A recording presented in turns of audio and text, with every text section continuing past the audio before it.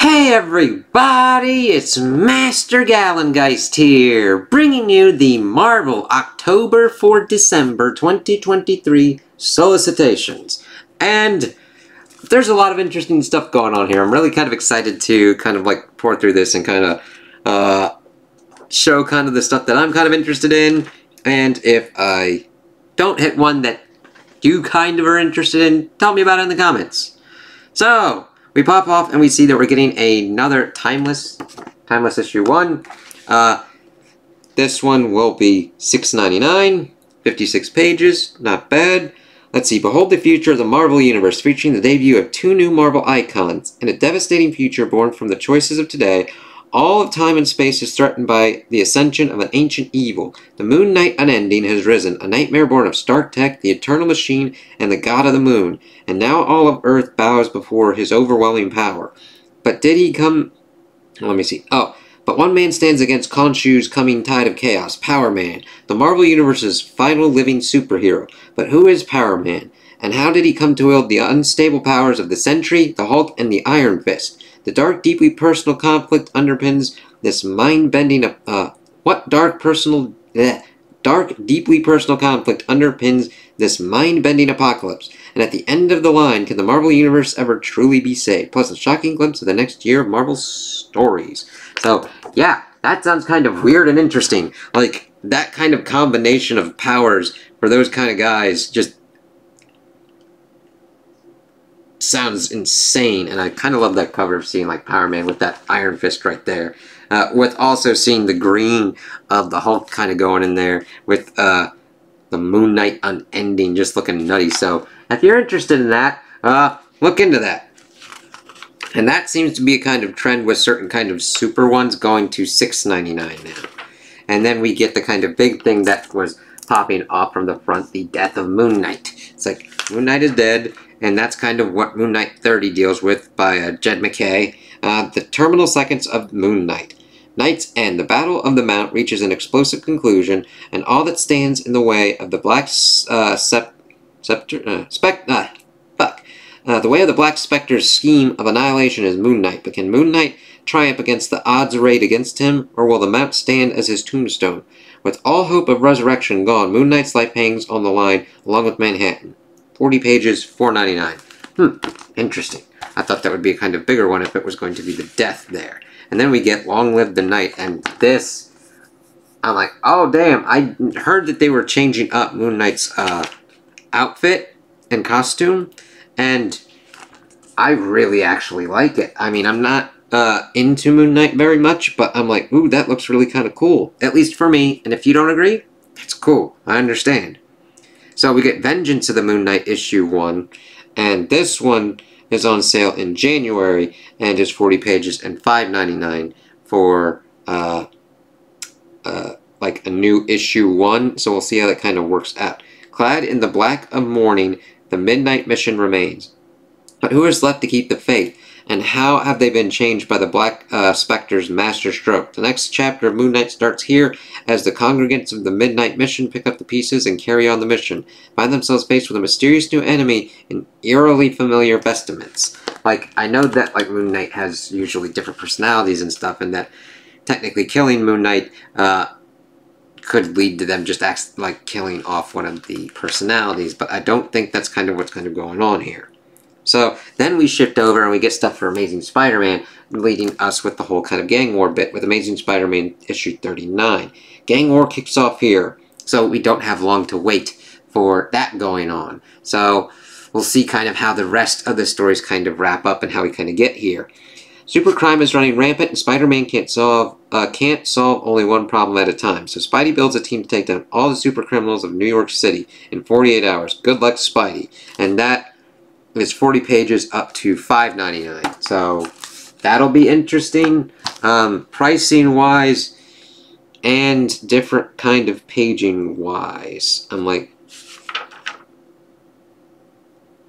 okay, so it's only a little bit more. It's because of the extra pages, because then we flipped over to the next one for Amazing Spider-Man uh, issue 40, and that one is 32 pages at $4.99. So Uh, it looks like certain kind of ones that go up a little bit will increase by a dollar, but even Spidey is going up from $3.99 to $4.99, so keep that in mind. So this one, Gang War continues.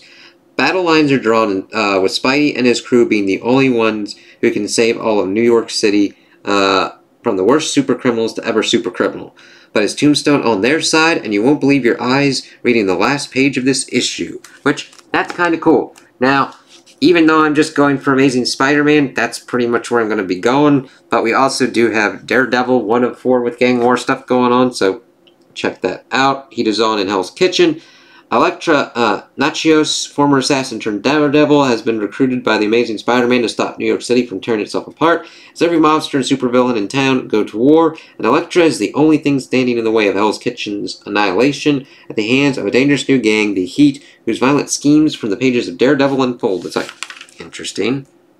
And then, of course, we get Miles popping off in there as well. Uh, detailing looks like he is fighting uh, and dealing with the Hobgoblin on 13 and the Prowler entering the battlefield in 14. Then we get uh, uh, Shang-Chi popping off into there as well, and Spider-Woman. And Luke Cage as well. I do like the kind of Luke Cage one, which is interesting because he's the mayor, but going off in a different kind of way. Oh, he get this. Okay, he's got uh, two of four as well. Um, taking it to the streets. The city needs a hero more than it needs a mayor. In the midst of a turbulent gang war, Luke Cage goes undercover and uh, takes his battle to the streets to track down a new generation of spider slayers. But he won't be alone. Cloak and Dagger, Jessica Jones, and Danny Rand guest star. Ooh, that sounds pretty cool. And we got Superior Spider-Man issue 2. No time travel, no clones, just superior spidering. The sins of Otto Octavius' past are exacting a heavy toll in the present, and one of Peter Parker's closest friends must pay the price for them. The secrets revealed in our last issue didn't fill you with dread. Wait till you see how this one ends. Like, hmm, okay. Interesting. So if you're into that, look into that for Superior Spider-Man. We also get Carnage doing some crazy stuff. Uh, Spider-Boy evidently linking up with Captain America. Yeah, because uh, Spider-Man gets a lesson in sidekicks from none other than Captain America, which works out and makes sense. I'm like, all right, I was like Spidey and uh, Cap working together like that. Then we also get Punisher issue two. It's like, oh, the new Punisher. No one escapes the Punisher. Deep in the heart of New York City, the crime lord known as the Offer trades in every currency on the planet. Barricaded within his fortified tower, he is defended by an army of guards, the latest in cutting-edge security, and a team of stone-cold supervillains capable of slaughtering a battalion. With the limitless resources at, uh, with, yeah, with the limitless resources at his disposal, the Offer thinks he is untouchable. He's about to learn that no one escapes the Punisher, and that one's, yeah, I'm seeing the thing that like most of this kind of stuff throughout the issues are $4.99 for the new ones. We're getting a White Widow.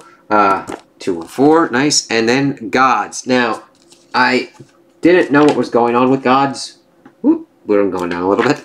Um, I didn't know how many were going to be in this. I don't know if it was a series or whatnot. Through uh, certain kind of interviews, I saw that it will go as long as there's interest for it. So if anything else, I might check it out when it's um, in a trade or whatnot. Uh, I don't know. I'll see how it kind of goes because if it was a limited kind of one, I might check it out, but it might be more, I might check it out at a later kind of point and see kind of what goes on. Because it does sound interesting. Gods, issue 3. This one's four ninety nine. Uh, Cassandra is cursed with knowing the future, but no one believes her. There are black swans in the bar. Oblivion wants to drink alone, but kids these days don't respect authority figures. Most of the ingredients are illegal outside of Hell's Kitchen. And granted, that is also a pretty kind of cool cover, but it's like, I don't, I don't know what's going on, so that doesn't make sense for me. Uh, we got Sensational She-Hulk issue 3. And some zombie shit going on. Cap and the Howling Commandos. So if you're in your wolf cap and everything, check that out. Let's see. With Cap Wolf at the helm, the Howling Commandos are ready to take down their foes at Wolfschanz. Wolf... Wolfschanz? I do not know how to pronounce that. I'm sorry. I'm butchering that. But the Nazis have a secret we uh, weep weeping have a secret weapon up their sleeves, and if she can't win Steve's allegiance, she'll happily settle for his head. It's like, that ain't good. We got Captain Marvel with kind of her new outfit, which actually looks pretty cool. I kind of like that. Spine tingling Spider-Man. Predator versus Wolverine's gonna be ending at that with its 404. Crazy ass looking cover there. See, for simile editions, we've got Marvel Voices Avengers issue 1. And there came a day, a day unlike any other, when Earth's mightiest heroes from all walks of life united against a common threat. Join a team of Marvel's finest creators, from veterans to new recruits full of potential, for four tremendous tales of Earth's mightiest heroes. Don't miss the latest anthology of Marvel's Voices series. That's 56 pages at $6.99. That's pretty interesting. I do like the cover with like Iron Man, Cap, uh, Photon, Blue Marvel? and they're on top of Reyes' car. I'm thinking Monica Rambeau. I don't know what she's going by though. Spider Gwen Smash, which pretty cool looking cover. Hmm, then we got some interesting stuff here on this one. We get Sentry 104 and Thunderbolts 104, and then we also get the Avengers. So Sentry 104. Sentry is dead, but ordinary people all over the world are suddenly manifesting his powers and experiencing snippets of Bob Reynolds' memories. That is not good. Will one of them survive long enough to emerge as the new Sentry, or will their newfound power destroy them? When Misty Knight and Jessica Jones cross paths in search of answers, they open an investigation that will change everything you think you know about the Sentry. Which, that's pretty interesting to have them uh, searching on the case, so that actually sounds pretty cool. So if you're in into Sentry, it's like, that's kind of a weird thing, let's see what goes on here.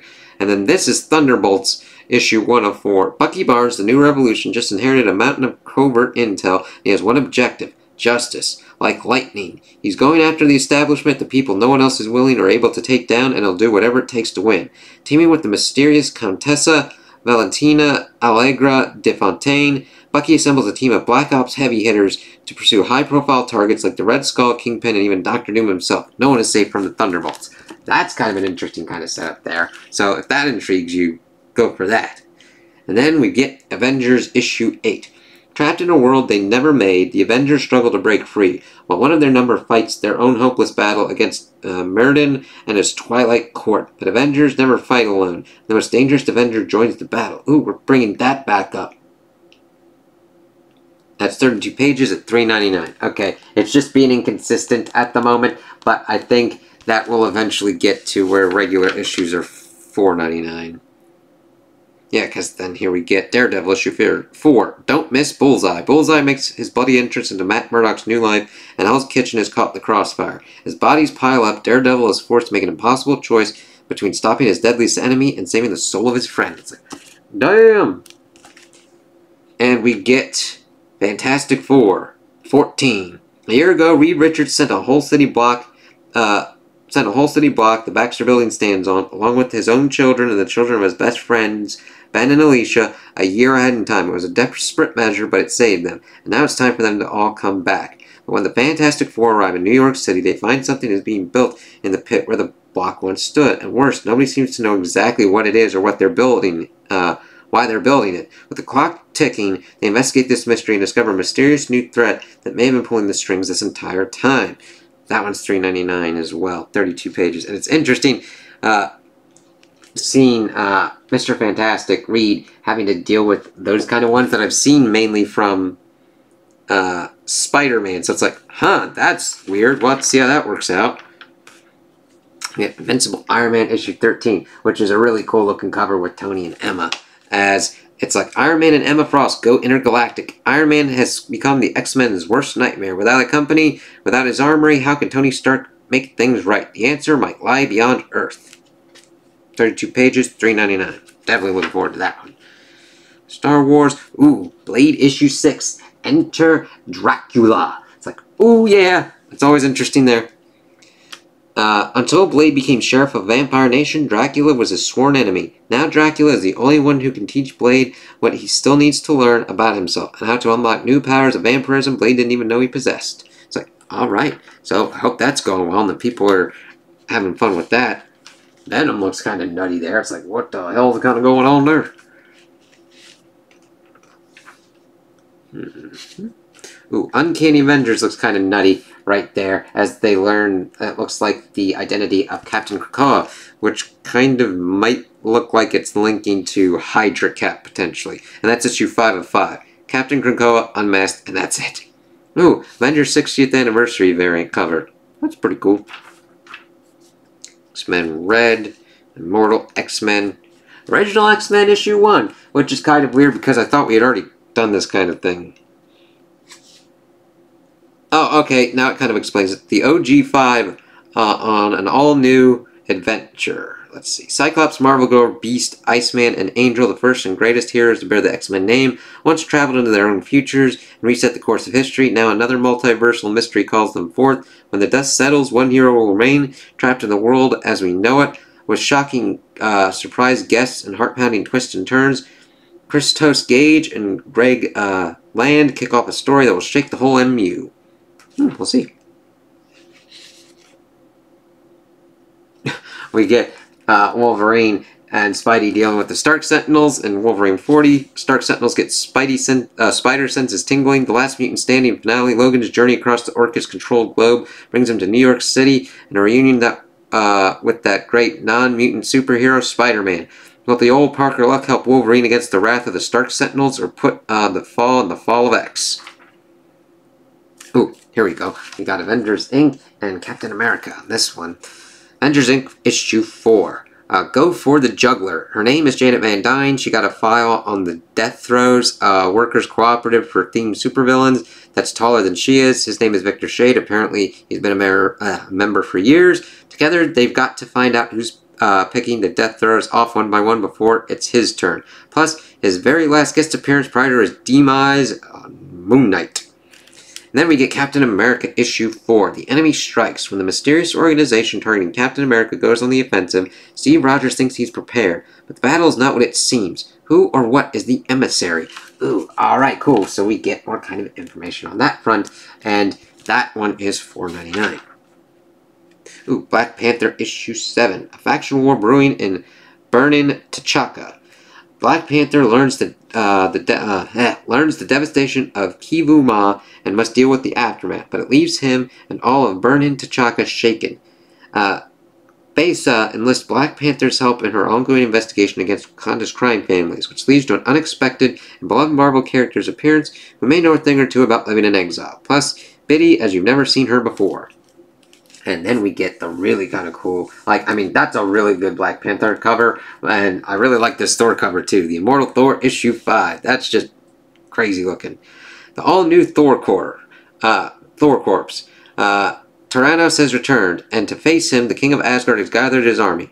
But even, uh, but if even an army of storm gods could not stop the elder god of thunder, what then? This is the story of the immortal Thor and the battle that will define him. That one's four ninety nine as well. I really, I'm I'm enjoying that one. I can't wait to see what goes on with that.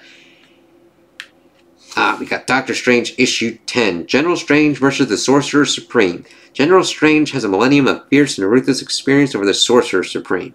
How can Doctor Strange protect the Earth and all of magic? And what dark creature will he have to become to best General Strange? 32 pages, 3.99. That's a crazy look cover there. Man, just the eyes and everything. Ghost Rider 20 Run. End of the road. The cult of Mephisto is possessing the next generation of humanity. But even if the spirit of vengeance stops the cult, what does this mean for the future of Ghost Rider? Could this be the end of an era? And I just like how crazy that looks with his skull just smoking instead of flaming. The Incredible Hulk issue 7. Hulk versus the War Devils. The Hulk and the undead Ghost Rider make amends, but Ghost Rider smells an evil in the air. It's been terrorizing a small community. With Bruce's teenage sidekick Charlie determined to prove him, uh, prove herself a hero, Hulk must face them uh, must face them down before she gets herself uh, into more trouble than she bargained for. It's like, ooh, uh, that sounds nutty, and it's cool that uh, Ghost Rider's in there. And we get like some Alien and Star Wars ones, Mando, Vader. What the fuck? All right, that droid looks fucking gnarly as shit and Sauron, like it's like goddamn.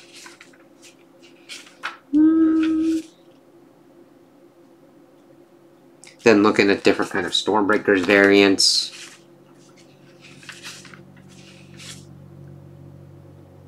Oh, cool. New reprintings of certain kind of ones, like Captain Spidey. Thor by Walter Simonson. Omnibus. Ooh, that's cool. Let's see. Some interesting ones come out. Marvel Masterworks, Captain America, Scarlet Witch and stuff. Cool. But yeah, I would definitely recommend kind of picking this up, kind of check out what's going on. Oh shit, Dark Avengers. God, I remember when that was going on.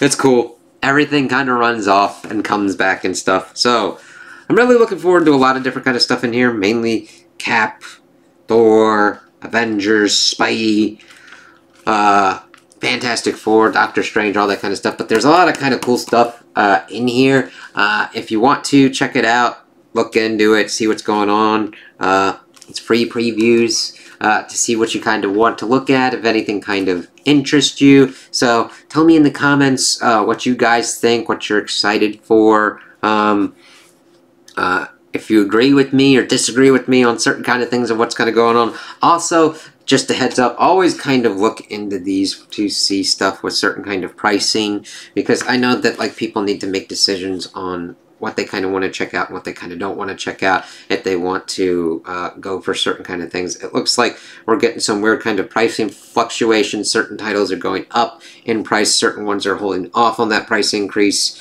We'll see kind of what goes on, but I'm really looking forward to a lot of the different stuff. I'm like, oh yeah, cool. Uh, I can't wait to see what kind of goes on in September and to see what kind of goes on. So, those are my opinions on the solicitations. Tell me what you guys think in the comments below. What you're excited for. Uh, if you're not excited for anything. If you agree with me. If you disagree with me. Uh, and uh, like and subscribe. And I hope you have a good day.